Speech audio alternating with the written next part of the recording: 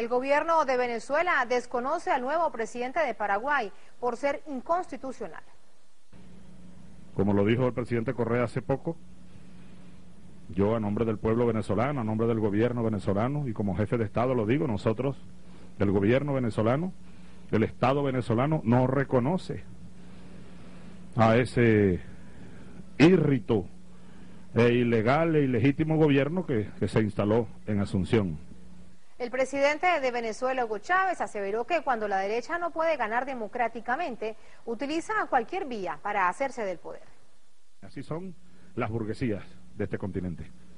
Gritan democracia como aquí, el 12 de abril, igualito.